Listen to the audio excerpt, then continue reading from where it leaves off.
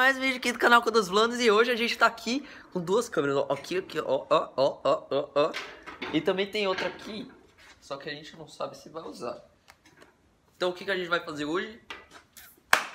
O desafio do... Desafio do de trás pra frente. Porque, porque assim, esse...